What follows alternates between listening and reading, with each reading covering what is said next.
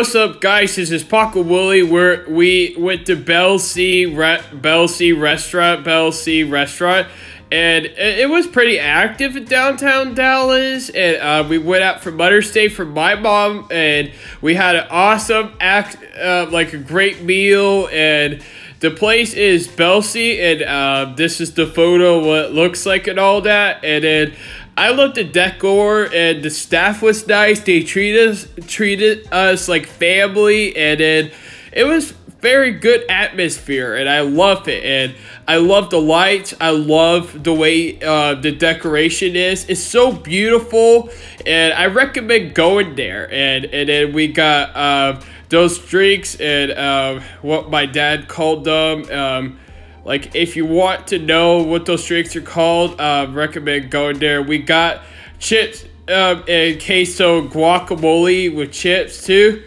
and um, and we got Brussels sprouts, and it has dressing with it, and then.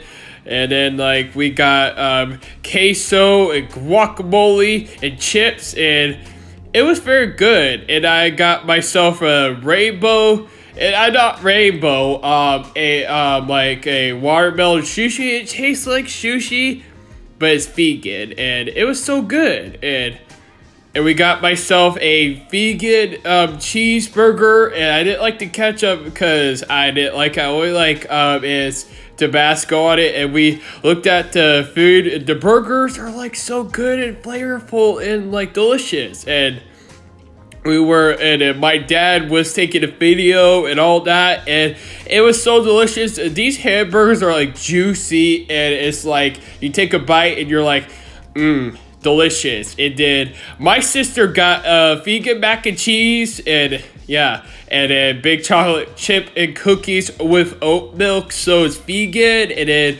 and i was uh, having a good bite and i was like in heaven and then Belse it was very good, and, and Dallas was good. So, uh, happy Mother's Day to all of you mothers that are out there, and uh, and Nadine, that's my mom. Um, I hope all of you have a Mother's Day, and Puckle sign off, Puckle out. Peace.